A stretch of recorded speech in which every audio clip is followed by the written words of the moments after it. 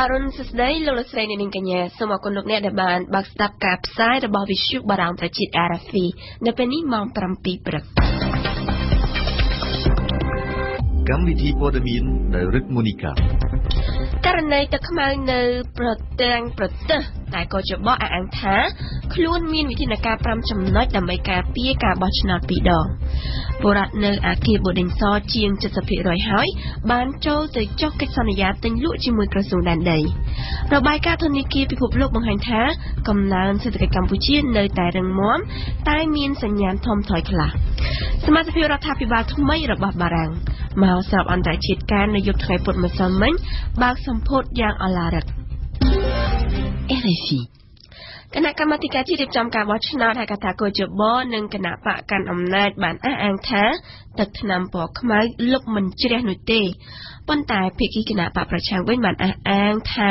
ផ្ទុយទៅវិញទឹកថ្នាំពណ៌ខ្មៅដែលទិញមកពីប្រទេសឥណ្ឌានៅតែលុបជ្រះ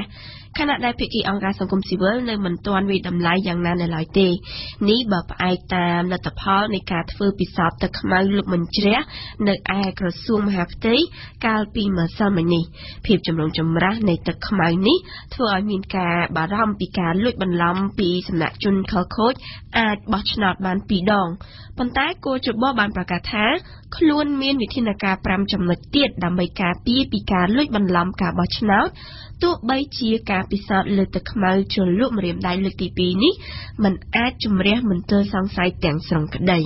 យើងស្ដាប់សឿងភិរៈលោកស៊ីកប៊ុនហុកប្រធានគណៈកម្មាធិការជាតិរៀបចំការបោះឆ្នោតក៏ជបបានបញ្ជាក់នៅមុខភាគីពាក់ព័ន្ធក្នុងឱកាសសន្និសីទសារព័ត៌មាននៅថ្ងៃទី17ខែឧសភាថាទឹកខ្មៅចំនួន46500ដបដែលយកមកពីប្រទេសឥណ្ឌានោះលោកមិនចេះនោះទេ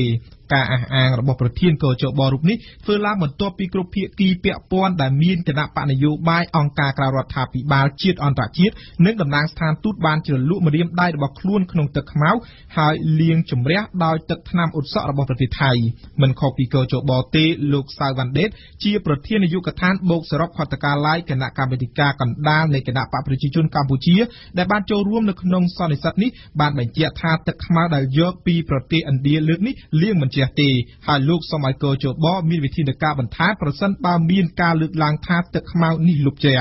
ប៉ុន្តែលោកមុំផល្លាប្រធានប្រតិបត្តិរបស់គណៈបក្សសង្គ្រោះជាតិប្រចាំរាជធានីភ្នំពេញបានបញ្ជាក់ថាទឹកខ្មៅជ្រលក់ម្រាមដៃដែលគ្រោងប្រើសម្រាប់ការបោះឆ្នោតជ្រើសរើសក្រុមប្រឹក្សាគុំសង្កាត់អាណត្តិទី4នាពេលខាងមុខនេះគឺលៀងជ្រះប៉ុន្តែលោកបានបង្ហាញជំនឿលើវិធានការទាំង5របស់កោជបដែលទប់ស្កាត់ការប៉ុនប៉ងការបោះឆ្នោតពីរដងតំណាងអង្គការ Conference លោកកនសវាងដែលបានចូលរួមនៅក្នុងការពិសោធន៍លាងជម្រះទឹកខ្មៅនោះមិនបានបញ្ជាក់ថាទឹកខ្មៅនោះលាងជ្រះឬក៏អត់នោះទេប៉ុន្តែលោកចង់ឲ្យអ្នកសារព័ត៌មាននិងមតិសាធារណៈជាអ្នកធ្វើការវិនិច្ឆ័យដោយខ្លួនឯងលោកក៏បានគាំទ្រចំពោះវិធានការទាំង5របស់កោជបព្រោះលោកជឿថាអាចទប់ស្កាត់បានការបោះឆ្នោតពីរដងទោះបីជាមិនបាន100%ក៏ដោយលោកបញ្ជាក់ថាអង្គការ Confrel នឹងធ្វើសន្និសីទកាសែតមួយនៅក្រោយការបោះឆ្នោតដើម្បីបង្ហាញពីគុណភាពទឹកខ្មៅនេះ វិធានការទាំង5ចំណុចដែលប្រធានកោជបបានលើកឡើងរួមមាន ទី1ពង្រឹងការចេញឯកសារបញ្ជាក់អត្តសញ្ញាណប័ណ្ណបម្រើឲ្យការបោះឆ្នោត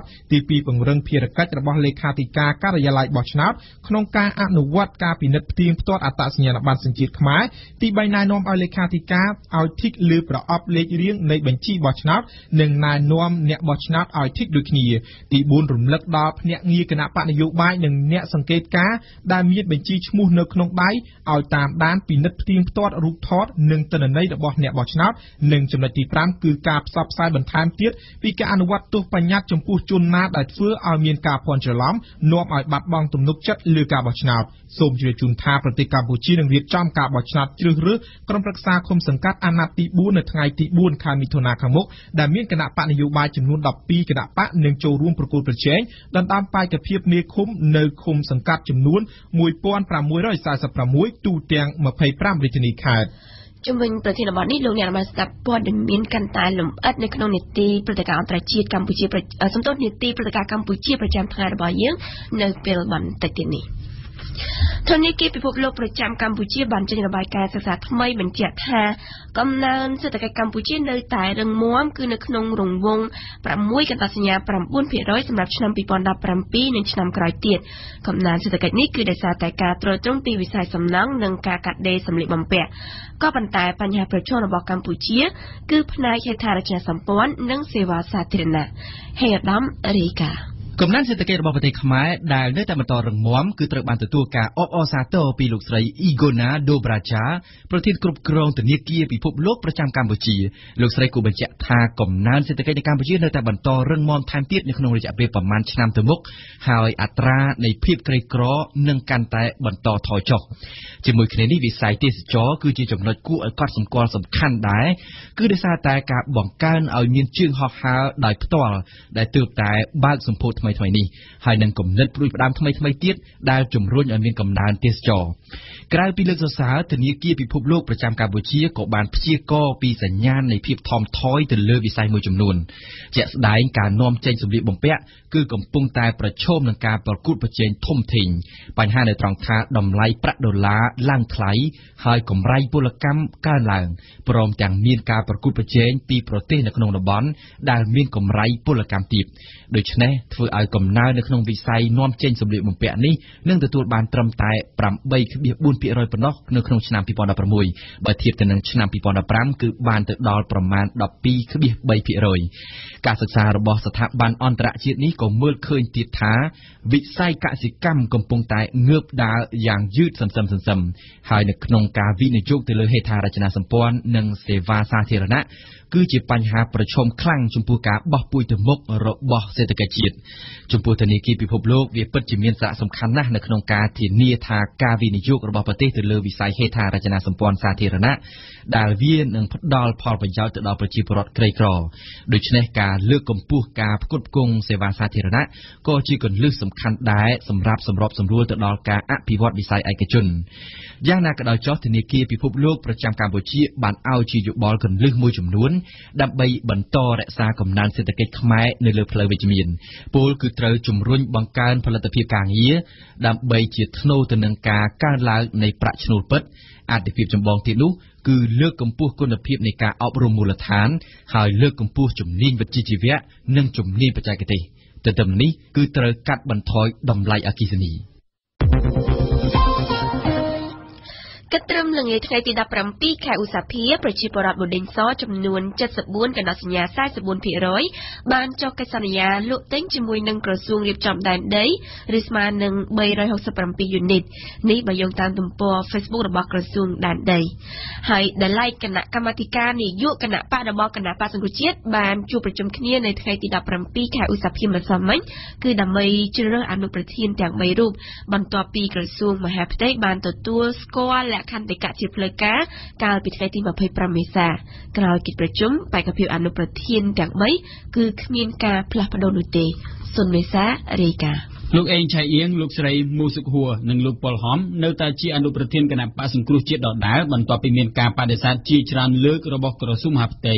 គណៈកម្មាធិការនយោបាយនៃគណៈបកនៅថ្ងៃទី17ឧសភានេះបានសម្រេចដោយសម្លេងស្ទើរជាឯកច្ឆ័ន្ទនៅក្នុងចំណោមសមាជិកប្រមាណ98នាក់ដែលបានជ្រើសរើសមន្ត្រីជាន់ខ្ពស់នៃបកទាំង3ធ្វើជាអនុប្រធាន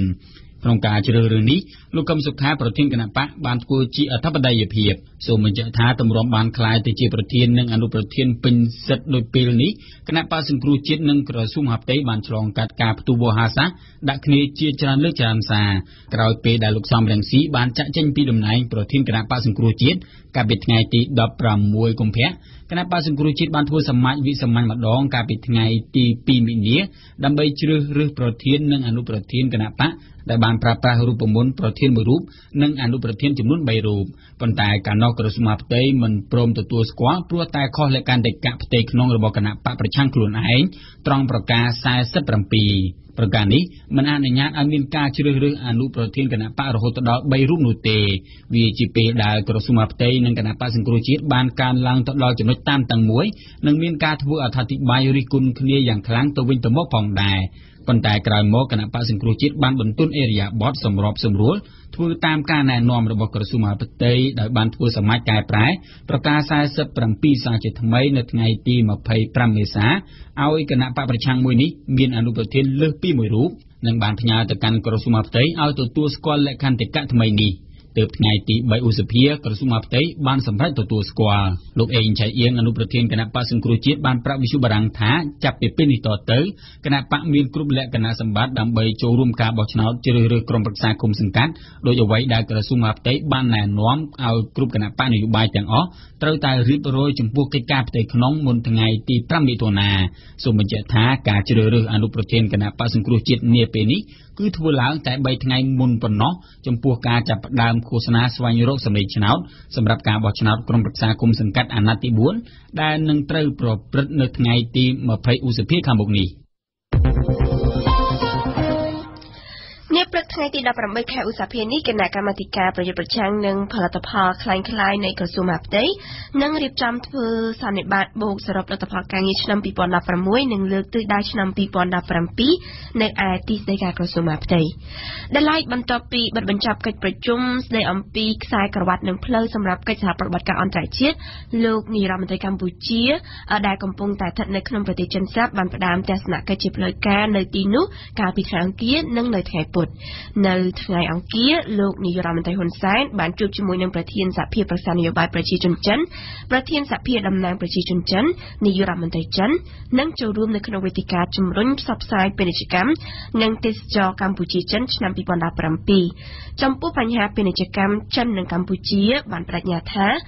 និងជំរុញឲ្យបានទំហំ6000លានដុល្លារអាមេរិកនៅក្នុងឆ្នាំ2020វ៉ាន់ស្គុនធារីកា នៅក្នុងជំនួបទ្វេភាគីរយៈពេល50នាទីរវាងនាយករដ្ឋមន្ត្រីចិនលោកលីកាចាំងនិងនាយករដ្ឋមន្ត្រីកម្ពុជាលោកហ៊ុនសែននៅក្នុងទីក្រុងប៉េកាំងប្រទេសចិនភាគីទាំងពីរបានគូបញ្ជាក់រួមគ្នាថានឹងបង្កើនវិសាលភាពនិងកម្រិតនៃកិច្ចសហប្រតិបត្តិការសេដ្ឋកិច្ចនិងពាណិជ្ជកម្មទ្វេភាគីដើម្បីឈានទៅសម្រេចបានទំហំពាណិជ្ជកម្មចំនួន6000លានដុល្លារអាមេរិកនៅក្នុងឆ្នាំ2020 តាមរយៈនេះភាគីចិនបានត្រៀមរួចជាស្រេចក្នុងការបន្តផ្តល់ជំនួយតាមសមត្ថភាពរបស់ខ្លួនដល់កម្ពុជា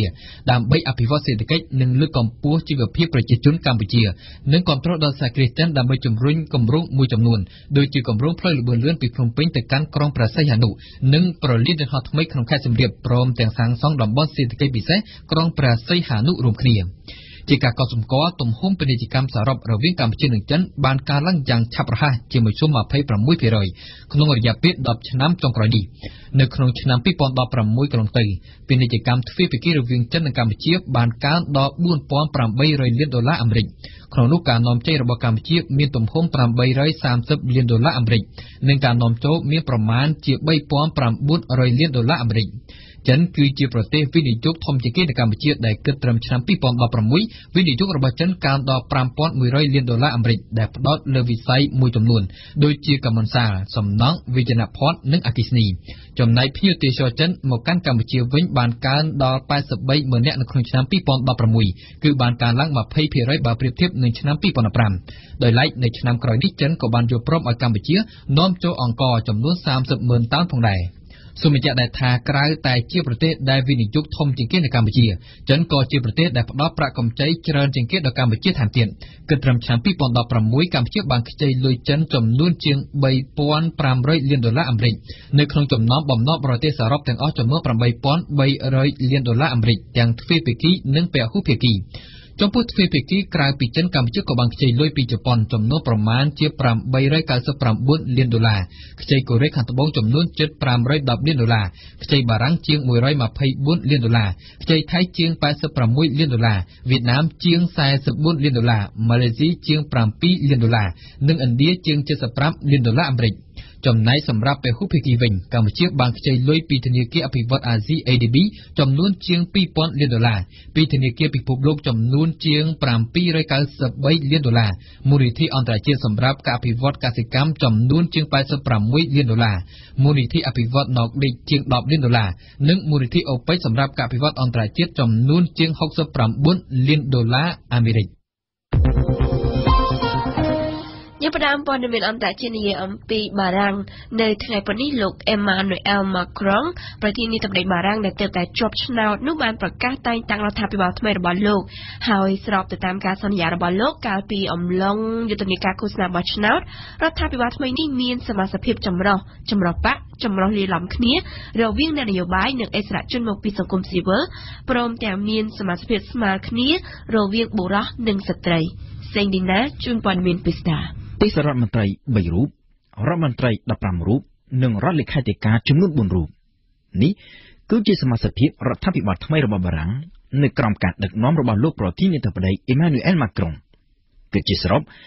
រដ្ឋាភិបាលថ្មីនេះមានសមាជិកចំនួន22រូបដោយបែងចែកគ្នាស្មើត្រឹមរវាងបរិសនិងស្ត្រីគឺ11រូបជាស្ត្រីនិង11រូបជាបរិសហើយក៏បែងចែកគ្នាយ៉ាងស្មើត្រឹមដែររវាងអ្នកនយោបាយនិងសង្គមស៊ីវិល គឺសមាជិករដ្ឋាភិបាល11រូបជាអ្នកនយោបាយនិង11រូបទៀតគឺជាអិសរាជជនមកពីសង្គមស៊ីវិលនៅក្នុងចំណោមអិសរាជជនមកពីសង្គមស៊ីវិលគេសង្កេតឃើញមានជាអាចប្រធានមូលនិធិការពីបរិស្ថានត្រូវបានតែងតាំងជារដ្ឋមន្ត្រីក្រសួងបរិស្ថានសាស្ត្រាចារ្យវិទ្យាសាស្ត្រត្រូវបានតែងតាំងជារដ្ឋមន្ត្រីក្រសួងសុខាភិបាលសកលវិទ្យាធិការត្រូវបានតែងតាំងជារដ្ឋមន្ត្រីក្រសួងឧត្តមសិក្សានិងស្រាវជ្រាវអតីតប្រមុខដឹកនាំក្រុមហ៊ុនត្រូវបានតែងតាំងជារដ្ឋមន្ត្រីក្រសួងកាងារ អ្នកនិពន្ធនឹងជាប្រធានគ្រឹះស្ថានបោះពុម្ពផ្សាយសៀវភៅត្រូវបានតែងតាំងជារដ្ឋមន្ត្រីក្រសួងវប្បធម៌កីឡាករជើងឯកអូឡ িম্প ិកត្រូវបានតែងតាំងជារដ្ឋមន្ត្រីក្រសួងកីឡាព្រមទាំងតំណាងសមាគមឬអង្គការក្រៅរដ្ឋាភិបាលមួយចំនួនផ្សេងទៀតត្រូវបានតែងតាំងជារដ្ឋលេខាធិការជាពិសេសគឺទូតបន្ទុកខាងកិច្ចការនារីនិងខាងជនពិការនៅក្នុងចំណោមអ្នកនយោបាយវិញគេក៏សង្កេតឃើញមានសមាជិកភាពចម្រុះបកផងដែរដោយនៅក្នុងនោះមានរដ្ឋមន្ត្រីចំនួន2រូបមកពីគណៈបក្សស្ដាំនិយមដែលជាបកប្រឆាំង នៅក្នុងចំណោមរដ្ឋមន្ត្រីមកពីគណៈបក្សស្ដាំនិយមទាំងពីររូបមានមួយរូបកាន់ក្រសួងដ៏សំខាន់មួយ គឺក្រសួងសេដ្ឋកិច្ចការតែងតាំងរដ្ឋមន្ត្រីមកពីគណៈបកប្រឆាំងទាំងពីររូបហើយបូករួមជាមួយនឹងនាយករដ្ឋមន្ត្រីផ្ទាល់ដែលមកពីគណៈបកប្រឆាំងដូចគ្នាវាគឺជាយុទ្ធសាស្ត្រដ៏សំខាន់មួយរបស់លោកអេម៉ានូអែលម៉ាក្រុងដើម្បីស្វាស្វែងរកសម្លេងភាគច្រើននៅក្នុងសភានៅក្នុងការបោះឆ្នោតសភាដែលនឹងប្រព្រឹត្តទៅ នៅពាក់កណ្ដាលខែមិថុនាឆ្នាំនេះ ប្រធានាធិបតីថ្មីរបស់កូរ៉េខាងត្បូងបានលើកឡើងនៅថ្ងៃពុធថា probability នៃការប៉ះទង្គិចគ្នាដោយប្រដាប់អាវុធនៅតាមព្រំដែនរវាងកូរ៉េខាងជើងនិងខាងត្បូងនៅក្នុងពេលបច្ចុប្បន្ននេះគឺមានកម្រិតខ្ពស់ការលើកឡើងរបស់ប្រធានាធិបតីថ្មីរបស់កូរ៉េគឺធ្វើឡើងបន្ទាប់ពីកូរ៉េខាងជើងទើបតែបានសាកល្បងមីស៊ី ballistic ជាថ្មីកាលពីថ្ងៃអាទិត្យហើយកំពុងតែតាក់ទាញទណ្ឌកម្មបន្ថែមទៀតពីក្រុមប្រឹក្សាសន្តិសុខអង្គការសហប្រជាជាតិ វិទ្យុបារាំង RFI ភ្នំពេញ 92MHz សៀមរាប 92MHz បាត់ដំបង ក្រុងព្រះសីហនុនិងកំពង់ចាម 94.5MHz លោកអ្នកស្ដាប់ជាទីគោរពជាបន្តទៅទៀតនេះលោកអ្នកនឹងបានស្ដាប់ដំណងគឺជានីតិព្រឹត្តិការណ៍កម្ពុជាប្រចាំថ្ងៃញឹមសុផលលើកឡើងថាទឹកខ្មៅជ្រលក់ដៃលៀងមិនជ្រះនៅតែជាមន្ទិលតែក៏ច្បោះអះអាងអំពីភាពមើងម៉ាត់របស់ខ្លួនបន្តមកគឺជានីតិទស្សនៈព្រឹត្តិការណ៍កម្ពុជាហេយឧត្តមលើកឡើងអំពីតើការហាយក្បួនឃោសនាគ្រាន់តែសម្ញែងសាច់ដុំគ្មានបានការឬ ហើយនៅក្នុងនីតិទស្សនៈបដកម្មពិភពលោកលោកអ្នកបានស្ដាប់ព្រំស៊ិនសូរីណាចាត់សួរថាតើលោកដូណាល់ត្រាំអាចទៀតពីតំណែងប្រធានាធិបតីអាមេរិកដែរឬទេចំណែកនីតិទស្សនៈសារព័ត៌មានព្រឹកនេះរៀបចំជូនដោយវ៉ាន់សុគន្ធា ហើយចុងបញ្ចប់គឺជានីតិបទយោកាស្រីសុភ័ក្រលើកឡើងអំពីផ្សារសហគមន៍ខ្មែរលក់កសិផលសរីរាង្គជួយកសិករខ្មែរនិងនិស្សិតក្រីក្រ ព្រឹត្តិការណ៍កម្ពុជាប្រចាំថ្ងៃម្ដងហើយម្ដងទៀតបញ្ហាទឹកខ្មៅជ្រលក់ម្រាមដៃនៅពេលបោះឆ្នោត នៅតែស្ថិតនៅក្នុងភាពមន្ទិលពីការលៀងជ្រះបើទោះណាជាគណៈកម្មាធិការជារៀបចំការបោះឆ្នោតកោជបបានរៀបចំធ្វើការពិសោធន៍កាលពីថ្ងៃពុធម្សិលមិញក៏ដោយ ទោះបីជាយ៉ាងណាអ្នកពាក់ព័ន្ធដែលនៅមិនទាន់ឯកភាពទាំងស្រុងជាមួយនឹងកោជបនោះហាក់បានដកថយមួយចំធានខណៈដែលមានការអះអាងពីប្រធានកោជបអំពីដំណាភាពនិងភាពជឿទុកចិត្តតាមរយៈវិធានការផ្សេងផ្សេងចំនួន5ចំណុចក្រៅពីទឹកខ្មៅជ្រលក់ដៃដល់ចម្រងចម្រាស់ដែលភិក្ខីពាក់ព័ន្ធលើកឡើងថាលៀងជ្រះនិងលៀងមិនជ្រះតទៅនេះសូមអញ្ជើញស្ដាប់សេចក្តីរាយការណ៍ដែលរៀបចំឡើងដោយញឹមសុផល ជុំវិញបញ្ហាទឹកខ្មៅជ្រលក់ដៃដែលមានការអះអាងថាលៀងជ្រះលោកមនផល្លាប្រធានគណៈកម្មាធិការប្រតិបត្តិគណៈបកសង្គ្រោះជាតិប្រចាំរាជធានីភ្នំពេញដែលបានទៅចូលរួមការសាកល្បងរបស់កោជបកាលពីម្សិលមិញលើកឡើងថាទឹកឆ្នាំនេះយើងពិតជាលៀងលុបច្រាស់ក្នុងរយៈពេលខ្លីហើយឯកឧត្តមប្រធានគណៈកម្មការជាតិរៀបចំការបោះឆ្នោតក៏ទទួលស្គាល់ ថាផលិតផលនេះពិតជាមានការលុបលាងជ្រះមែនហើយលោកបានមានការប្រវត្តិជាហោហែពីកាលពីថ្ងៃទី6ខែមេសាថ្ងៃទី19រហូតដល់ថ្ងៃនេះក៏ប៉ុន្តែខ្ញុំសង្ឃឹមថាគណៈកម្មការជាតិរៀបចំការបោះឆ្នោតដែលមានវិធានការ5នេះនឹងបានជួយជំរុញនិងធានានៅអ្នកបោះឆ្នោតដើម្បីកុំឲ្យអ្នកបន្លំខ្លួន បោះឆ្នោតលើសពីមួយដងខ្ញុំមានជំនឿបែបនេះហើយសង្ឃឹមថានគរយោបល់នឹងអនុវត្តបានបាទ ជាមួយគ្នានេះលោកស៊ីប៊ុនហុកប្រធានគណៈកម្មាធិការជាតិរៀបចំការបោះឆ្នោតកោជបថ្លែងនៅចំពោះមុខអ្នកសារព័ត៌មានគណៈបកនយោបាយអង្គការក្រៅរដ្ឋាភិបាល និងតំណាងស្ថានទូតនានាថានៅក្នុងការដែលយើងស្រាវជ្រាវរស់នេះគឺយើងចង់ដោះស្រាយមិនឲ្យមានបញ្ហាទឹកខ្មៅណាដែលគ្មានផលិតផលគីមីណាលុបជ្រះតលតែសោះនោះខ្ញុំមិនជឿថាក្នុងលោកនឹងអាចមានទេ អស់លោកត្រូវដាប់ពាក្យនឹងឲ្យបានពីព្រោះវាជាផលិតផលគីមីគេធ្វើកាន់សម្រាប់ឲ្យដិតមិនមែនធ្វើការពាររហូតមកដល់មានអាស៊ីតដែលធ្ងន់ធ្ងរនឹងទៅប្រតិកម្មលើវានឹងបានទេពួកអប្រាហ្នឹងគឺអ្នកប្រើគ្រោះថ្នាក់ទៅដល់ខ្ញុំគ្មានជំនឿថានៅក្នុងសកលលោកមានប្រូតវីគីមីណាដែលអត់មានប្រូតវីគីមីផលិតផលគីមីនឹង neutralize វាបានទៅវិញទៅមកអត់អត់ជឿទេ មិនជឿតតែសោះពីព្រោះផលិតផលគីមីវាមានតាមដឺក្រេរបស់វាហេតុនេះហើយដែល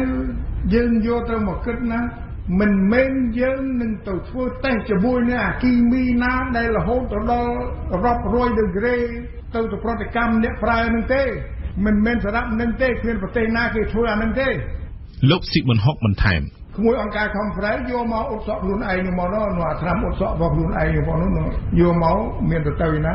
តែមកផ្លេតទៀតទៅឡើងខ្មៅវិញហ្នឹងជាស្ដែងហើយអាយុនេះគាត់ធ្វើតេស្តមុនគេគាត់ពេញចិត្តហើយគាត់ថាលោកអត់ជឿទេនឹងមកស្ថានអន្តរជាតិមេធំយូរហើយតែគាត់មកធ្វើតេស្តចូលធ្វើតេស្តមុនគេបងគេអន្តរជាតិគេឲ្យតម្លៃណាវាយ៉ាប់មកតែគ្នាយើងខ្លានឹងតែផ្ដាមិនដែលទុកចិត្តអីអីគ្នាឯងតាក់តិចអីសោះ គេចង់ធ្វើល្អដែរតាក្នុងនាមជាខ្មែរម្នាក់ស្មានតែថ្មីនឹងចង់ធ្វើអាក្រក់ឥឡូវទៅតាមមើលទៅឲ្យមានដំណាភាពហើយតាលោកយ៉ងកំឯងនាយកប្រតិបត្តិមជ្ឈមណ្ឌលប្រជាពលរដ្ឋដើម្បីអភិវឌ្ឍនិងសន្តិភាពនិងជាអ្នកនាំពាក្យបន្ទុកស្ថានភាពបោះឆ្នោតក្រុមប្រឹក្សាឃុំសង្កាត់ឆ្នាំ2017ចាត់ទុកថា ទឹកខ្មៅសម្រាប់ប្រើប្រាស់ក្នុងការជ្រលក់ដៃពេលបោះឆ្នោត មានសារៈសំខាន់សម្រាប់ប្រទេសកម្ពុជានៅឡើយដើម្បីជួយការពារការបន្លំបោះឆ្នោតពីរដងនេះគឺជារឿងមួយសំខាន់បាទរឿងទឹកខ្មៅនេះវាជាបញ្ហាមួយហើយទឹកខ្មៅក៏ជួយសំខាន់ដែរបាទនៅក្នុងប្រទេសដែលមានសំអនុវត្តរឿងការបោះឆ្នោតតាមស្បៃត្បូងដែលមិនទាន់នឹង ទាន់មានភាពទុកចិត្តគ្នាខាងនយោបាយស្រួលណាបាទអញ្ចឹងគឺកម្រិតនៃការប្រុងប្រយ័ត្នត្រូវតែមានខ្ពស់សម្រាប់ប្រជាពលរដ្ឋដែរទោះយ៉ាងណាលោកស៊ីប៊ុនហុកប្រធានកោជបលើកឡើងថាក្រៅពីទឹកខ្មៅជ្រលក់ដៃនៅមានវិធានការ5ចំណុចទៀតដែលលោកជឿថាអាចជួយឲ្យការបោះឆ្នោតនេះដំណើរការទៅបានដោយមិនមានការបន្លំការបោះឆ្នោតពីរដង សាកទៅចូលទៅបោះឆ្នោតលើកទី2លោកមើលបានដឹងយើងមានវិធានការរបស់5យើងអន្តរជាតិឯកភាព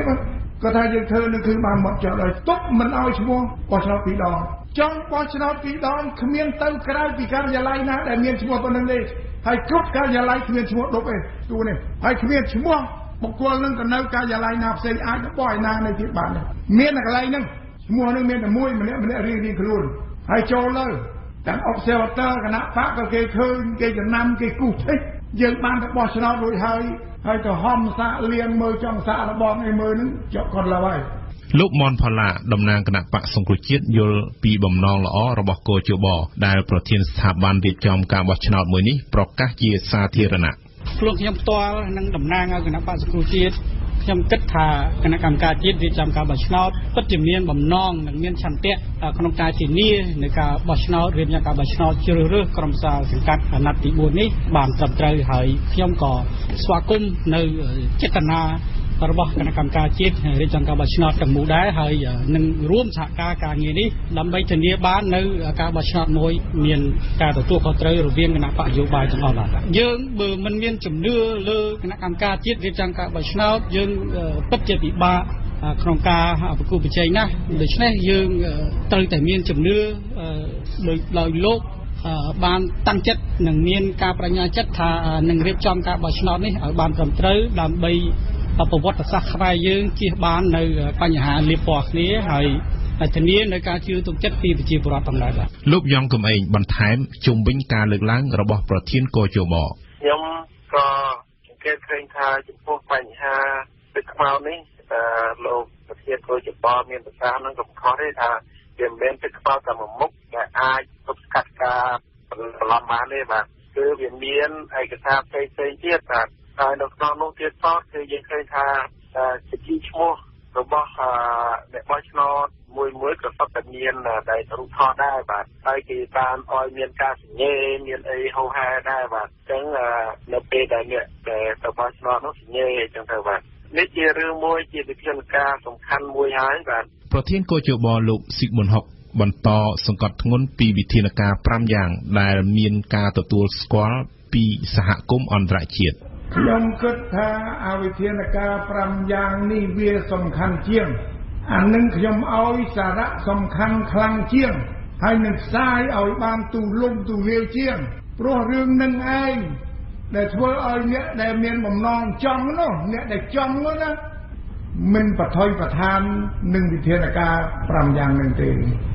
នឹងឯងដែលបណ្ដាមតិរបស់អេស្វេអន្តរជាតិនឹងគេឯកភាពនឹងវិធានការរបស់យើងនឹងតែម្ដង គេឃើញថាវិធានការ5នឹងអាចទប់មិនឲ្យមានអ្នកមានបំណងចង់ទៅបោះឆ្នោតពីរដងទី1ទី2នោះ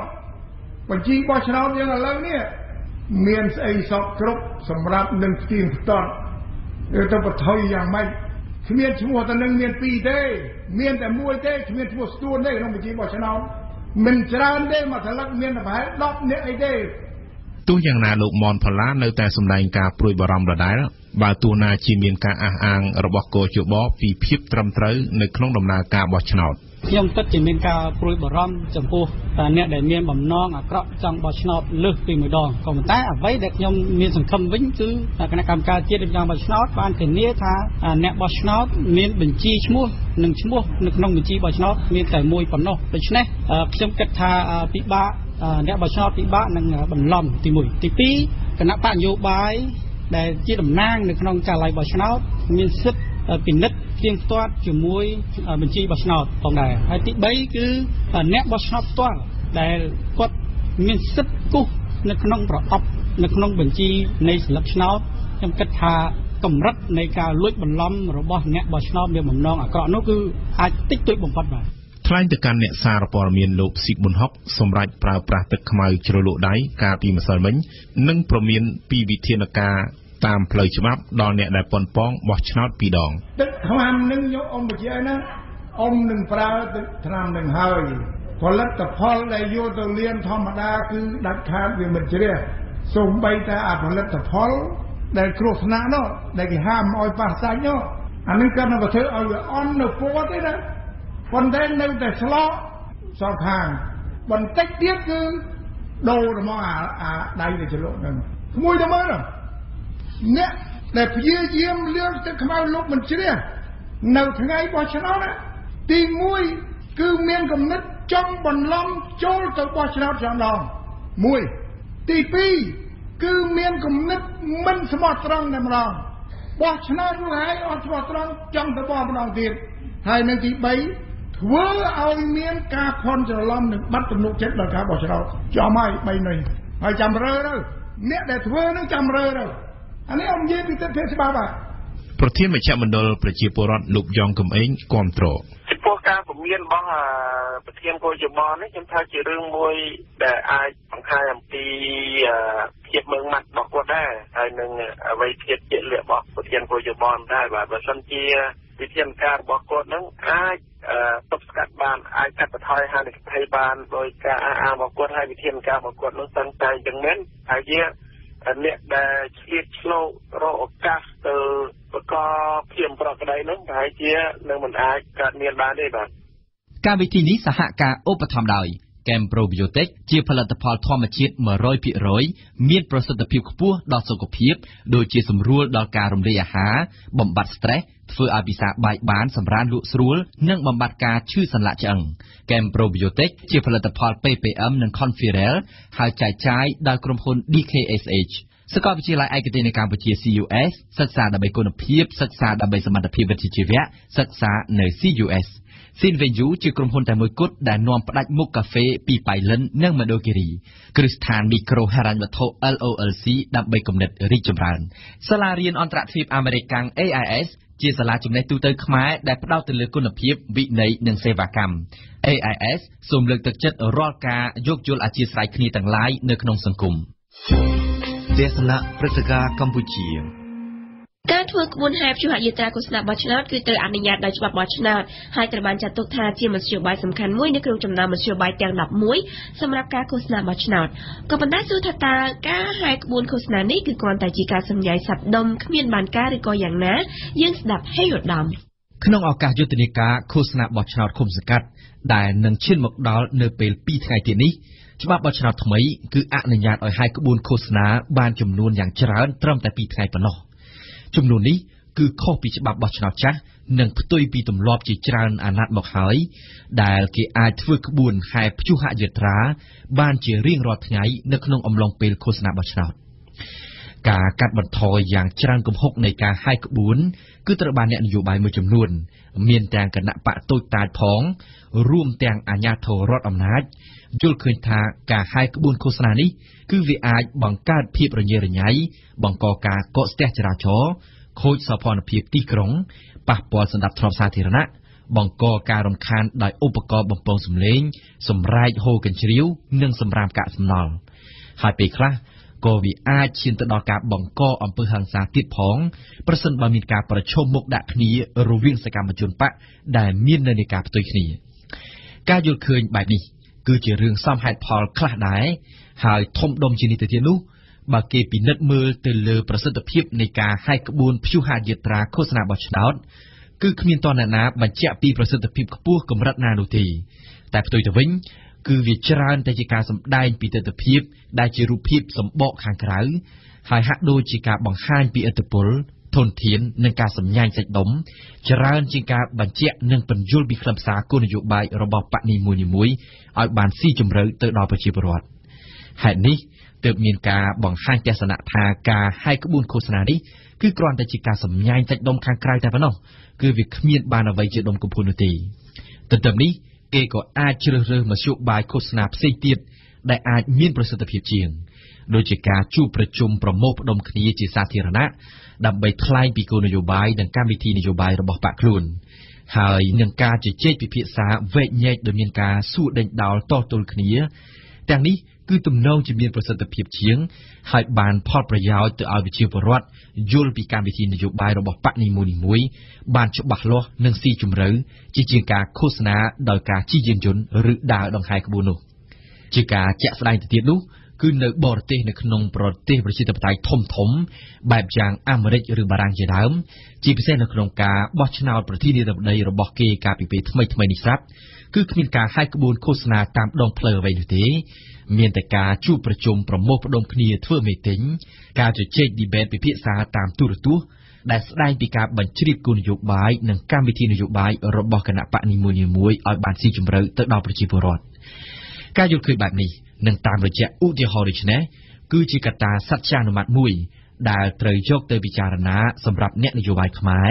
និងជាពិសេសសម្រាប់គណៈបកដែលនឹងត្រូវរៀបចំឃោសនាបោះឆ្នោតនាពេលខាងមុខនេះក៏ប៉ុន្តែចំពោះទស្សនវិជ្ជានៃការហែកក្បួនព្យុហយាត្រាសម្រាប់ឃោសនាបោះឆ្នោតនេះបើគេសញ្ជឹងគិតឲ្យបានវែងឆ្ងាយបន្តិចគឺគេអាចសម្លឹងឃើញពីភាពសំខាន់ចាំបាច់ផ្សេងទៀតសំខាន់ចាំបាច់ក៏ព្រោះថាសម្រាប់កលៈទេសៈបច្ចុប្បន្ន នៅត្រង់ថាក្នុងស្ថានភាពដែលពលរដ្ឋយល់ដឹងពីនយោបាយប៉ុនពេលសពថ្ងៃនេះហើយពិសេសសំខាន់ចំពោះគណៈបកនយោបាយដែលគ្មានប្រព័ន្ធឃោសនាផ្សព្វផ្សាយដូច្នេះហើយគឺច្បាស់ណាស់ថាការហាយក្បួនព្យុហយាត្រា គឺនឹងផ្ដល់លទ្ធភាពឲ្យគណៈបកនយោបាយនោះមានឱកាសបង្ហាញខ្លួនបង្ហាញឈ្មោះលាតត្រដាងនៅរូបសញ្ញានិង logo របស់បកខ្លួន ហើយក៏ជាការបង្ហាញសាច់ដុំខ្លះដែររបស់ខ្លួន ជាពិសេសបំផុត គឺដើម្បីបង្ហាញនិងផ្ដល់ជំរឿថ្មីទៅដល់ក្រសែភ្នែកនៃពលរដ្ឋម្ចាស់ឆ្នោតទោះបីជាយ៉ាងនេះក្តីការហាយក្បួនព្យុហយាត្រាឃោសនាបោះឆ្នោតតិចឬក៏ច្រើន វាច្បាស់ថានឹងឲ្យប្រជាពលរដ្ឋបានស្គាល់ពីគណៈបកនយោបាយនីមួយៗដឹងពីសន្ទុះកម្លាំងសមាជិកភាពមួយចំនួន ហើយក៏យ៉ាងហោចណាស់ក៏បានដឹងនិងស្ដាប់ពីភ្លេងគណៈបកនីមួយៗខ្លះដែរក៏ប៉ុន្តែទៅថ្ងៃខាងមុខ ការហាយក្បួនអាចនឹងលែងសូវមានសារៈសំខាន់ គឺនៅគ្រាដែលគេអាចមានទម្លាប់ជួបប្រជុំគ្នាឃោសនានយោបាយដោយសេរីនៅទីធ្លាសាធារណៈហើយនឹងនៅពេលដែលគេមានកម្មវិធីជជែកដេញដោលទល់មុខគ្នាដោយនៅក្នុងប្រទេសប្រជាធិបតេយ្យជឿនលឿននោះទេសនាព្រឹត្តិការណ៍ពិភពលោក រឿងអាស្រ័យរបស់ប្រធានាធិបតីអាមេរិកដូណាល់ត្រាំហាក់កើតមានមិនចេះចប់ពីមួយថ្ងៃទៅមួយថ្ងៃរឿងអាស្រ័យចុងក្រោយតាក់ទងការចាប់ប្រកាន់ថាលោកត្រាំសុំនាយក FBI ឲ្យបញ្ចប់ការស៊ើបអង្កេតលើអតីតទីប្រឹក្សាសន្តិសុខជាតិ Michael Flynn ធ្វើឲ្យទាំងបកកណ្ដាលអំណាចទាំងបកប្រឆាំងពិបាកនឹងទទួលយកសាធារណជនតាមបណ្ដាញសង្គមកំពុងតែចោទសួរថាតើគេអាចទម្លាក់លោកត្រាំពីតំណែងដែរទេតទៅនេះយើងស្ដាប់ព្រំសៀនសូលីណា ពីមួយថ្ងៃទៅមួយថ្ងៃរឿងអាស្រូវរបស់លោកដូណាល់ត្រាំហាក់មានមិនចេះចប់មិនចេះហើយធ្វើឲ្យគេមើលឃើញថាប្រធានាធិបតីអាមេរិកកាន់តែផ្ដេសផ្ដាស់មិនសមជាអ្នកដឹកនាំគួរឲ្យទុកចិត្តសោះជាក់ស្ដែងតកតងការទម្លាក់លោក James Comey ពីនាយក FBI កាលពីសប្តាហ៍មុនត្រូវបានលោកដូណាល់ត្រាំបដូរចម្លើយចុះឡើង។ ម្ដងសេតវិមានថាលោកត្រាំទម្លាក់នាយក FBI ដោយសារលោកបានទទួលអនុសាសន៍ពីក្រសួងយុតិធម៌ថាលោក Comey ធ្វើការមិនល្អ ម្ដងទៀតថាលោកត្រាំចង់ដកលោក Comey តាំងពីលោកឡើងកាន់អំណាចម្លេះលោកត្រាំខ្លួនឯងទៀតបន្ថែមល្បោយថាទោះគ្មានអនុសាសន៍នេះក៏លោកដកតំណែងនាយក FBI ដែរ ពេលគេសង្ស័យថាលោកត្រាំដកលោក Comey ពី FBI ដោយសារតែ FBI ស៊ើបអង្កេត សង្ស័យថាក្រុមការងារលោកតាក់ទងនឹងរុស្ស៊ីលោកត្រាំរឹតតែធ្វើឲ្យគេសង្ស័យថែមទៀតដោយសារលោកបាននិយាយថាពេលលោកសម្រេចចិត្តដកលោកខមីលោកកំពុងតែគិតពីពាក្យថាទំនាក់ទំនងជាមួយរុស្ស៊ីនឹងហើយរឿងអស្រូវតាក់ទង FBI មិនទាន់ចប់ផងក៏ផ្ទុះរឿងមួយទៀតគឺកាសែត Washington Post បានចុះផ្សាយថាលោកត្រាំផ្ដល់ព័ត៌មានសម្ងាត់ឲ្យរុស្ស៊ីជាព័ត៌មានតាក់ទងនឹងប្រតិបត្តិការនៅអ៊ីរ៉ាក់និងស៊ីរីសារព័ត៌មានអាមេរិកជាច្រើនចុះផ្សាយថាព័ត៌មានសម្ងាត់ទាំងនេះផ្ដល់ដោយអ៊ីស្រាអែលស្ថិតក្នុងក្របខ័ណ្ឌនៃកិច្ចព្រមព្រៀងចារកិច្ចអាមេរិកអ៊ីស្រាអែលមិនអាចឲ្យប្រទេសទី3ដឹងឮទេ សេតវិមានចេញមុខបដិសេធថាលោកត្រាំមិនបានផ្ដល់ព័ត៌មានសម្ងាត់ឲ្យរុស្ស៊ីទេបដិសេធមែនប៉ុន្តែលោកត្រាំវិញចេញមុខនិយាយពាក្យបញ្ជោះទៅសារព័ត៌មានវិញថាលោកមានសិទ្ធិចែករំលែកព័ត៌មានស្ដីពីភេរវកម្មជាមួយរុស្ស៊ីរឿងអាស្រូវតាក់ទងរុស្ស៊ីផ្ទុះឡើងមិនបានប៉ុន្មានផង ល្ងាចថ្ងៃអង្គារកាសែត New York Times ចុះផ្សាយបន្ថែមរឿងមួយជាន់ទៀតកាសែត New York Times ចុះផ្សាយថាកាលពីពាក់កណ្ដាលខែកុម្ភៈប្រធានាធិបតីអាមេរិកបានសុំឲ្យនាយក FBI James Comey ឈប់ស៊ើបអង្កេតអតីតទីប្រឹក្សាសន្តិសុខជាតិ Michael Flynn តទៅទៀតលោក Michael Flynn បានបង្ខំចិត្តលាតំណែងក្រោយសារព័ត៌មានបានទម្លាយរឿងអាស្រូវថាលោកបាននិយាយតាមទូរស័ព្ទជាមួយឯកអគ្គរដ្ឋទូតរុស្ស៊ីប្រចាំសហរដ្ឋអាមេរិកកាលពីខែធ្នូឆ្នាំ2016ហើយលោកក៏ប្រហែលជាបាននិយាយពីទណ្ឌកម្មអាមេរិកប្រឆាំងរុស្ស៊ីជាមួយឯកអគ្គរដ្ឋទូតរុស្ស៊ីផងដែរយោងតាមកាសែត New York Times លោកត្រាំស៊ីស៊ូសុំនាយក FBI ឲ្យឈប់ស៊ើបអង្កេតលើលោក Michael Flynn កាលពីថ្ងៃ14កុម្ភៈគឺមួយថ្ងៃប៉ុណ្ណោះក្រោយលោក Flynn លាលែងពីតំណែងជាទីប្រឹក្សាសន្តិសុខជាតិអាមេរិកថ្ងៃ14កុម្ភៈក្រោយចប់កិច្ចប្រជុំស្ដីពីការគម្រាមភេរវកម្មលោក Donald Trump បានសុំឲ្យអ្នកចូលរួមទាំងអស់ចេញទៅក្រៅហើយលោកនៅតទល់គ្នាតែពីរនាក់ជាមួយលោក James Comey ជានាយក FBI តែលោកដូណាល់ត្រាំពិតជាបានសុំលោក Comey ឲ្យឈប់ស៊ើបអង្កេតលើលោក Flynn ទៀតមែនទេ បើដូច្នេះមែនគេអាចចោទលោកថាលោកដៃបង្កការរាំងស្ទះដល់ប្រព័ន្ធយុត្តិធម៌ទាំងស្រុងគេរត់តែអាចនិយាយថាលោកដូណាល់ត្រាំនិងក្រុមការងារលោកពិតជាអាចមានទំនាក់ទំនងជាមួយរុស្ស៊ីដោយដែលបានសង្ស័យមែនហើយព្រោះតាមរយៈរឿងអាស្រូវដែលរៀបរាប់មកពីខាងដើមនេះគេមើលឃើញថាលោកដូណាល់ត្រាំចង់ធ្វើអ្វីស្រេចតែចិត្តលោកដោយមិនខ្វល់មិនគោរពច្បាប់ទម្លាប់លោកហ៊ានលូកដៃហ៊ានដាក់អធិពលលើការស៊ើបអង្កេតរបស់ FBI ដើម្បីឲ្យក្រុមអ្នកចំណិតរបស់លោកឲ្យបកពួករបស់លោកជៀសផុតពីសំណាញ់ច្បាប់ប្រសិនបើលោកចង់លូកដៃក្នុងការស៊ើបអង្កេតរបស់ FBI តាក់ទងការចោទប្រកាន់លើក្រុមការងារលោកមែនគេក៏អាចធ្វើនីតិវិធីដកតំណែងលោកបានដែរសមាជិកបកប្រឆាំងប្រជាធិបតេយ្យមួយចំនួនគិតថាលោកត្រាំកំពុងតែដើរឆ្លងបន្ទាត់ក្រហមតំណាងរាស្ត្របកប្រឆាំងមួយចំនួនបានស្នើឲ្យបើកនីតិវិធីដកតំណែងលោកត្រាំ យោងតាមមាត្រាទី2នៃរដ្ឋធម្មនុញ្ញអាមេរិកគេអាចដកហូតតំណែងពីប្រធានាធិបតីអនុប្រធានាធិបតីឬក៏មន្ត្រីរដ្ឋការនានាប្រសិនបើអ្នកទាំងនេះរងការចាប់ប្រកាន់និងទទួលទោសពីបទក្បត់ជាតិពុករលួយឬក៏បទអក្រិតផ្សេងៗទៀត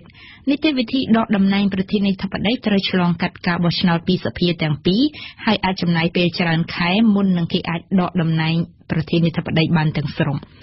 តាំងពីឆ្នាំ1789មកមាននីតិវិធីដកតំណែងប្រធានាធិបតីចំនួន3នៅសហរដ្ឋអាមេរិកគឺប្រឆាំងទៅនឹងលោក Andrew Johnson នៅបកប្រជាធិបតេយ្យនិងលោក Bill Clinton ប៉ុន្តែនីតិវិធីមិនដែលធ្វើដល់ចាប់ចុងចាប់ដើមទេប្រធានាធិបតី Richard Nixon បានលាលែងពីតំណែងក្នុងឆ្នាំ1974មុនគេចាប់ផ្ដើមធ្វើនីតិវិធីប្រឆាំងរូបលោកទេសនៈសារព័ត៌មាន នៅក្នុងនីតិទស្សនៈសារព័ត៌មានព្រឹកនេះគឺជាការរៀបចំជូនដោយវ៉ាន់សុគន្ធាដូច្នេះសូមអញ្ជើញស្ដាប់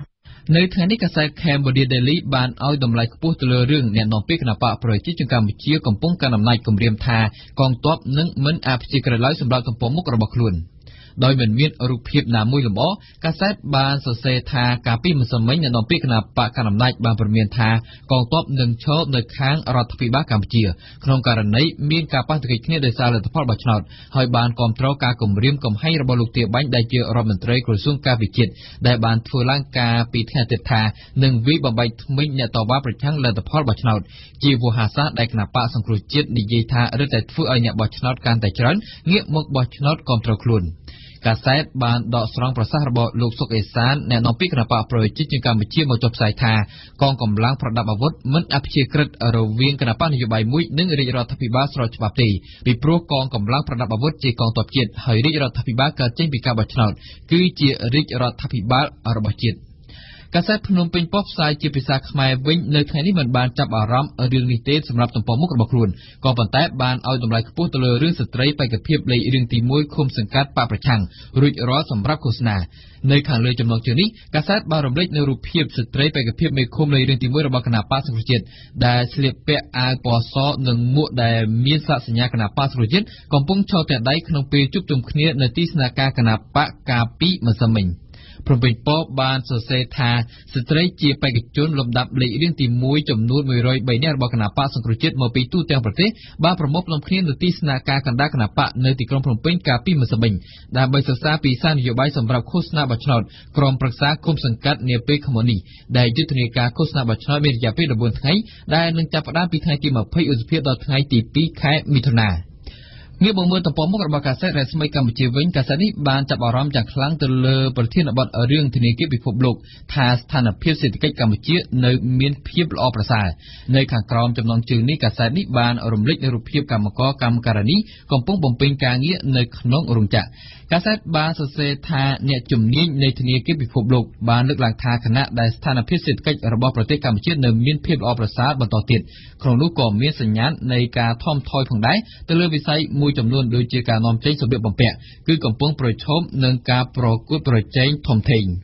បាទតាមកាសែតរស្មីកម្ពុជា ការលើកឡើងនេះបានធ្វើឡើងដោយលោកស្រីអ៊ីហ្គូណាដូប្រាចាប្រធានគ្រប់គ្រងធនាគារពិភពលោកប្រចាំនៅកម្ពុជានៅក្នុងកម្មវិធីផ្សព្វផ្សាយបច្ចុប្បន្នភាពសេដ្ឋកិច្ចកម្ពុជាកាលពីព្រឹកថ្ងៃទី17ខែសីហាឆ្នាំ2017កន្លងទៅនេះនៅក្នុងទីក្រុងភ្នំពេញ ក្រៅពីប្រធានរឿងមួយនេះកាសែតរស្មីកម្ពុជាក៏បានឲ្យតម្លៃខ្ពស់ទៅលើរឿងសម្ដេចនាយករដ្ឋមន្ត្រីបញ្ចប់ទស្សនកិច្ចនៅប្រទេសចិនជាមួយនឹងលទ្ធផលជាផ្លែផ្កានៅលើទំព័រមុខរបស់ខ្លួនផងដែរនៅថ្ងៃនេះ។ ដោយដាក់រូបភាពលោកនាយករដ្ឋមន្ត្រីហ៊ុនសែនកំពុងចាប់ដៃគ្នាជាមួយលោកប្រធានាធិបតីចិនស៊ីជីនពីនកាសែតបានសរសេរថាប្រមុខរាជរដ្ឋាភិបាលកម្ពុជាដឹកនាំដោយលោកនាយករដ្ឋមន្ត្រីហ៊ុនសែនបានបញ្ចប់បេសកកម្មការងារនិងទស្សនកិច្ចជាផ្លូវការនៅសាធារណរដ្ឋប្រជាមានិតចិនកាលពីថ្ងៃទី17ខែឧសភាឆ្នាំ2017ហើយបានមាតុភូមិនិវត្តប្រកបដោយសន្តិភាពកាលពីម៉ោងជាង9យប់ថ្ងៃទី17ខែឧសភានេះ កាសែតបានបន្ថែមទៀតថាលោកនាយរដ្ឋមន្ត្រីកម្ពុជាបានអញ្ជើញចូលរួមវេទិកាខ្សែក្រវ៉ាត់និងផ្លូវសម្រាប់សហប្រតិបត្តិការអន្តរជាតិនិងបំពេញទស្សនកិច្ចផ្លូវការនៅសាធារណរដ្ឋប្រជាមានិតចិនរយៈពេល5ថ្ងៃចាប់ពីថ្ងៃទី13ដល់ថ្ងៃទី17ខែឧសភាបាទតាមកាសែតរស្មីកម្ពុជាលោកហ៊ុនសែនបានវិលត្រឡប់មកជាមួយនឹងផ្លែផ្កាដ៏ត្រចះត្រចង់ រឿងនាយករដ្ឋមន្ត្រីកម្ពុជាទៅទស្សនកិច្ចនៅក្នុងប្រទេសចិននេះក៏មាននៅលើទំព័រមុខរបស់កាសែតកម្ពុជាថ្មីដែរនៅថ្ងៃនេះដោយកាសែតនេះបានដាក់ចំណងជើងធំៗនៅលើទំព័រមុខរបស់ខ្លួនថាប្រធានាធិបតីចិនប្រកាសផ្ដល់ជំនួយនិងហិរញ្ញប្បទានឥតសំណង1650លានយួនដល់កម្ពុជាសម្រាប់ការអភិវឌ្ឍក្នុងឆ្នាំ2017នៅខាងក្រោមចំណងជើងកាសែតនេះបានរំលេចដោយរូបភាពលោកនាយរដ្ឋមន្ត្រីកម្ពុជាហ៊ុនសែនកំពុងចាប់ដៃគ្នាជាមួយលោកប្រធានាធិបតីចិនស៊ីជីនពីនដូចគ្នានឹងកាសែតរស្មីកម្ពុជាផងដែរបន្ថែមពីលើរឿងនេះកាសែតកម្ពុជាថ្មីក៏បានងាកទៅចាប់អារម្មណ៍រឿងមួយទៀតគឺប្រធានកោចបោះអះអាងថាទឹកខ្មៅជ្រលក់ដៃមិនសំខាន់ជាងវិធានការ5យ៉ាងនោះទេ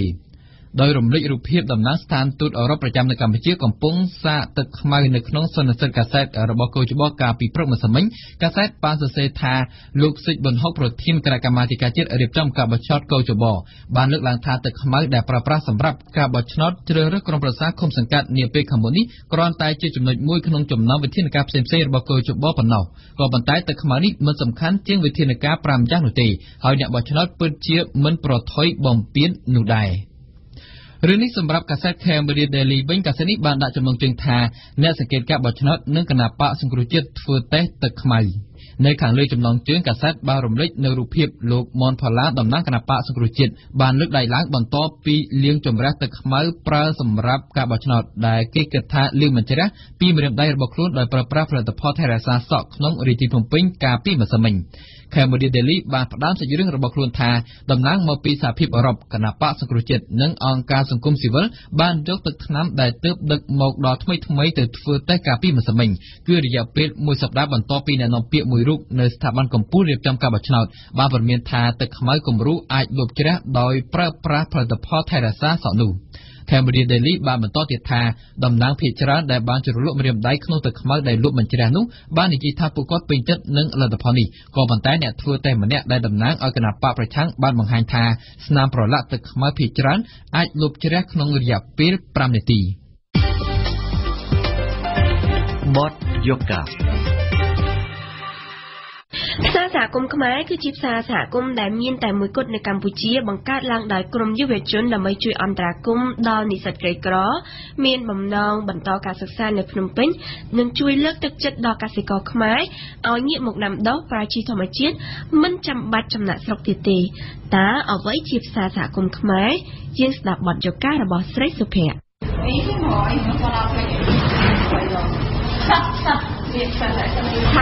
រ people sample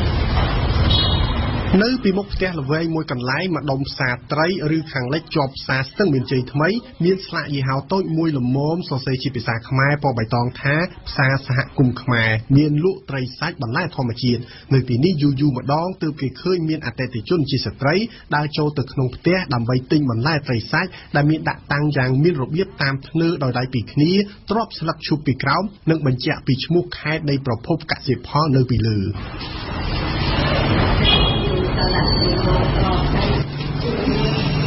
ម៉ួយប្រចាំហាងម្នាក់គឺអ្នកស្រីរតនាវ័យ35ឆ្នាំដែលជាចុងភៅនៅភោជនីយដ្ឋានមួយប្លុកសង្កាត់ស្ទឹងមានជ័យខណ្ឌមានជ័យនេះដែរកំពុងតែរើសបន្លែបណ្ដាអួតសរសើរពីគុណភាពបន្លែរបស់ផ្សារសហគមន៍ខ្មែរបណ្ដាទំដឹងដែរនឹងទំដឹងតែនឹងខ្ញុំទិញដល់ពេលខ្ញុំយកទៅដល់កន្លែងខ្ញុំញ៉ាំទៅវាខុសគ្នាមែនបើបន្លែគេវាខុសគ្នាហ្មងខុសត្រង់ថាបន្លែយើងវាផ្អែមបន្លែអាគេមកពីគេនោះអត់មានផ្អែមមានជាតិអីទេអញ្ចឹងណាដល់ពេលអញ្ចឹងទៅ ក៏សម្រេចថាហើសតបន្លែហ្នឹងមកទិញកន្លែងហ្នឹងរងថ្ងៃកន្លែងគាត់ហ្នឹងហើយការ៉ុតចឹងដល់ពេលបន្លែការ៉ុតកន្លែងគេស្ងោរទៅអត់ដឹងស្អីណាណីទេការ៉ុតហ្នឹងស្ងោរទៅឡើងផ្អែមហ្មងបាច់ដាក់គ្រឿងទេងាស់ទៅទឹកស៊ុបហត់ទៅទឹកឡើងផ្អែមជួនកាលគាត់ទិញយកទៅកិន កិនញ៉ាំទឹកវិញអញ្ចឹងណាចំណែកអ្នកស្រីវីអាយុ29ឆ្នាំ ជាបុគ្គលិកអង្គការក្រៅរដ្ឋាភិបាលបែរជាត្អូញត្អែបន្តិចពីកសិផលដែលមិនសូវមានលក់គ្រប់មុខគួបផ្សំនឹងតម្លៃរៀងថ្លៃបន្តិចដែរដូចជាមានមកមកគ្រប់គ្រាន់ដែរណាគ្រាន់តែថាវាមិនដូចផ្សារយើងចង់បានអីវាមានហ្នឹងណាគ្រាន់តែអីវ៉ាន់នៅហ្នឹងវារៀងថ្លៃជាងនៅផ្សារតែប៉ុណ្ណឹងឯងប៉ុន្តែខ្ញុំគិតថាឲ្យតែសុទ្ធมันគិតរឿងថាថ្លៃថោកទេជីវភាពយើងប្រមាណដែរអាហ្នឹងវាទៅតាមនឹងដែរបើយើងរៀងយ៉ាប់យើងក៏ពិបាកទិញដែរផ្សារសហគមន៍ខ្មែរគឺជាផ្សារលក់កសិផលសរីរាង្គដោយទទួលទិញផ្ទាល់ពីពលរដ្ឋសហគមន៍ក្រីក្រនៅតាមមូលដ្ឋានមកពីទូទាំងប្រទេសជាពិសេសសហគមន៍គោលដៅនៅខេត្តសៀមរាបបើតាមកញ្ញាសាយសូម៉ាលីអ្នកសម្របសម្រួលផ្សារសហគមន៍ខ្មែរផ្សារសហគមន៍ខ្មែរបង្កើតឡើងដោយក្រុមចងក្រងសហគមន៍ដែលមានសមាជិកជាយុវជននិងនិស្សិតជាង10នាក់ដែលបានរៃអង្គាសថវិកាផ្ទាល់ខ្លួនដើម្បីបើកផ្សារសហគមន៍ខ្មែរនេះឡើងក្រៅតែពីគោលដៅបង្កើតឡើងដើម្បីជួយដល់និស្សិតក្រីក្រដែលមានបំណងបន្តការសិក្សានៅភ្នំពេញមួយផ្នែកទៀតផ្សារសហគមន៍ខ្មែរនឹងជួយលើកទឹកចិត្តដល់កសិករឲ្យងាកមកដាំដុះកសិកម្មប្រើជីធម្មជាតិវិញមិនចាំបាច់ចំណាក់ស្រុកទៀតទេទុនដំបងទាំងអស់ហ្នឹងបើរៃគ្នាដំបងបងអស់ហ្នឹងបើគិតទៅមានតែ1500ដុល្លារទេអឺចំណាយទៅលើយើងជួលផ្ទះឃើញស្រាប់ហើយថានៅទីនេះសំបីតែរបស់របរប្រើប្រាស់គឺគាត់អត់ទិញរបស់ដែលពីកែច្នៃដោយជ័រពីតាមរោងចក្រទេគាត់ប្រើដោយដៃទាំងអស់អញ្ចឹងគាត់ទិញផ្ដៅទិញល្អីទិញអីចឹងទៅគាត់យកមកចាប់ផ្ដើមរៀបចំលក់ដូរអញ្ចឹងហើយមួយយ៉ាងពេលនោះគឺសហគមន៍គាត់នៅតាមតំបន់ផ្សេងផ្សេងគាត់ឃើញអញ្ចឹងគាត់ចេះតែព្យាយាមយកអាកសិផលគាត់មកដាក់លក់ដូចគ្នាអញ្ចឹងអានឹងជាការលើកទឹកចិត្តគ្នាទៅវិញទៅមកដើម្បីជួយរាល់កសិផលសរីរាង្គដែលមានលក់នៅផ្សារសហគមន៍ខ្មែរគឺសុទ្ធតែត្រូវឆ្លងកាត់ការបញ្ជាក់គុណភាពពីអង្គការ GRADE ដែលជាអង្គការដៃគូផ្ដល់បច្ចេកទេសបណ្ដុះបណ្ដាលកសិកម្មដល់សហគមន៍ក្រីក្រដើម្បីយកកសិផលមកលក់នៅផ្សារសហគមន៍ខ្មែរនេះ ក្រៅតែពីបន្លែត្រីសាច់ដែលអតិថិជនជាមួយប្រចាំតែងតែមកជាវនៅពេលដែលកសិផលដឹកមកដល់ភ្លាមភ្លាមចន្លោះម៉ោង10ព្រឹកនិងម៉ោង3រសៀលសម្រាប់ស្លស្លុកលោកអ្នកក៏អាចរកបានទឹកឃ្មុំព្រៃបង្គាក្រៀមអង្ករបុកដោយត្បាល់ក្តឿងកិននឹងជាន់ដែលផលិតឡើងតែ3កន្លែងគត់នៅខេត្តសៀមរាបខ្ញុំក៏បញ្ជាក់ផងដែរថាផ្សារសហគមន៍នៅក្នុងប្រទេសកម្ពុជាទើបមានតែមួយនឹងទេនៅផ្សារស្ទឹងមានជ័យហ្នឹងដែលប្លែកជាងគេគឺអង្គរកែច្នៃដោយដៃអង្គរកែច្នៃដោយដៃជាលក្ខណៈប្រពៃណីហ្នឹងគឺជាទូទៅគេអត់ដែលធ្វើទេគេប្រើដោយលក្ខណៈពាក់កណ្ដាលស្វ័យប្រវត្តិម៉ាស៊ីនតូចអញ្ចឹងណាប៉ុន្តែដោយសារតែយើងនេះគឺយើងចង់ឲ្យគាត់ធ្វើអញ្ចឹងពីព្រោះអង្គរប្រភេទអញ្ចឹងវាជួយដល់សុខភាពច្រើនហើយមួយទៀតការធ្វើអាហារការធ្វើអាហារហ្នឹងគឺយើងប្រើពពួកស្លឹករុក្ខជាតិសម្រាប់វេចខ្ចប់ហើយបន្លែនៅទីនេះយើងឲ្យគាត់កាត់បន្ថយទៅលើការប្រើប្រាស់ថង់ប្លាស្ទិកយើងទទួលយកមានស្លឹកឈូកមានខ្សែចំណងពពួកចេកមានកំប្លោកមានអីដោយសារអីដូចស្លឹកឈូកអញ្ចឹងវាដុះនៅតាមបឹងបួអញ្ចឹងវាត្រូវចោលហើយតកៅស៊ីអញ្ចឹងទៅតែបើសិនជាគាត់បេះអាហ្នឹងយកមកលក់គាត់បានទទួលប្រាក់ចំណូលហើយវាមានសារៈប្រយោជន៍ហើយវាជួយដល់បរិស្ថានដែរដាក់ឲ្យដំណើរការតាំងពីខែវិច្ឆិកាឆ្នាំ2015ផ្សារសហគមន៍ខ្មែរកំពុងស្ថិតលើលំនឹងស្មើផ្នែកអាជីវកម្មពលគឺបន្ទាប់ពីប្រឈមនឹងការប្រកួតប្រជែងជាមួយនឹងឈ្មួញលក់កសិផលផ្សេងទៀតលទ្ធភាពផ្គត់ផ្គង់បន្លែសរីរាង្គឲ្យទាន់តម្រូវការទីផ្សារខណៈដែលការដាំដុះប្រើជីធម្មជាតិត្រូវចំណាយពេលវេលាច្រើនជាងកសិផលគីមី។ យើងធ្វើយើងមិនមែនដើម្បីប្រយោជន៍បុគ្គលប្រយោជន៍ឯកជនទេយើងធ្វើដើម្បីប្រយោជន៍រួមសម្រាប់ប្រជាពលរដ្ឋសម្រាប់សង្គមរបស់យើងដែរដូច្នេះការឧបសគ្គវាប្រកាសជាមានឧបសគ្គពេលខ្លះគឺសឹងតែទប់អត់ជាប់ទេនៅពេលដំបូងដំបូងណាដោយសារវាមានអាជីវកម្មគេមកប្រកួតប្រជែងនឹងយើងដែរប៉ុន្តែយើងព្យាយាមដោយសារតែមានការលើកទឹកចិត្តពីអង្គការ Grade ពីសហគមន៍ក៏ព្យាយាមលើកទឹកចិត្តថាទោះបីជួបការលំបាកអីពួកគាត់ជួយយើងវិញទៀត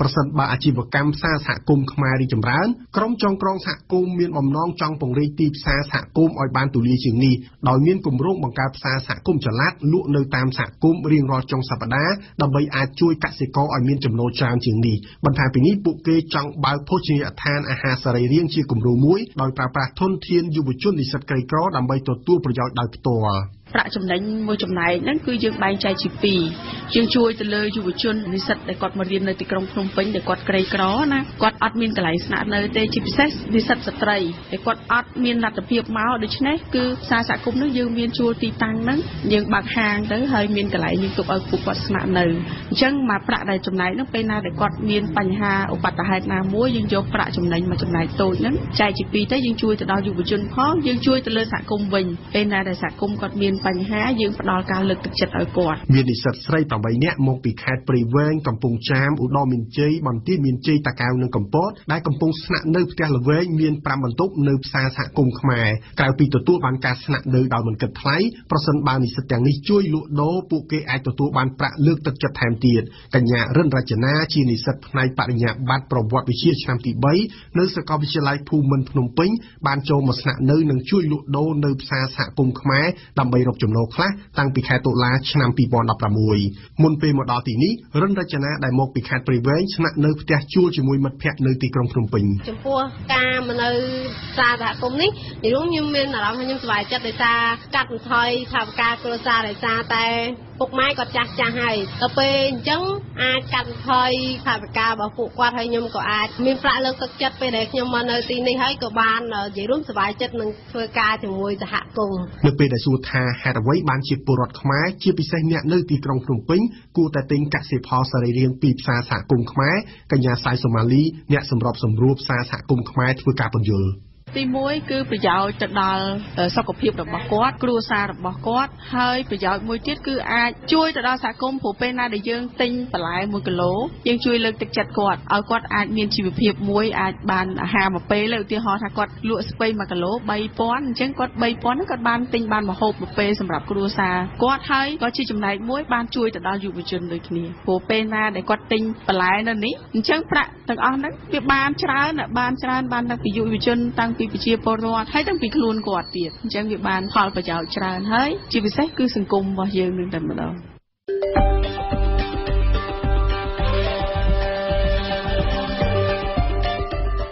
ព័ត៌មានទាំងនេះអាចអានឬស្ដាប់ឡើងវិញនៅក្នុងគេហទំព័ររបស់យើង www.khmer.rfi.fr